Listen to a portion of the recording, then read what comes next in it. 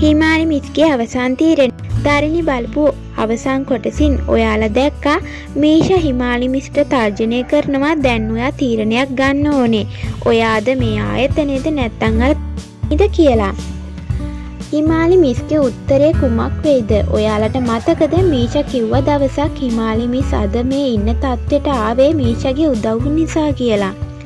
ඉතින් අන්න ඒක හේතුවක් වෙනවා හිමාලි මිස්ට තීරණයක් ගන්න විට. මොකද හිමාලි මිස්ගේ උත්තරය වෙයි ආයතනය කියන එක. හිමාලි මිස් එහෙම උත්තරයක් දෙන්නේ තරුමිනිට වෙච්ච දේ හරියටම දන්නේ නැති නිසා.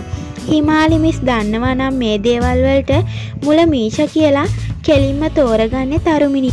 මොකද හිමාලි මිස් කවදත් තෝරගත් හරි පැත්ත නිසා අන්න ඒ නිසා මෙතනදි හිමාලි මිස් හිතන්නේ ආයතනය ගැන කියලා මට හිතෙන්නේ. තරුමිනීගේ වාසනාව තරුමිනීව තෝරගත්තොත් ඇත්තරම හිමාලි මිස් හරි පාර තෝරගත්තා කියලා හිතන්න පුළුවන්. ඉතින් අපි බලමු අද කොටසින් හිමාලි මිස් කාවද තෝරගන්න කියලා.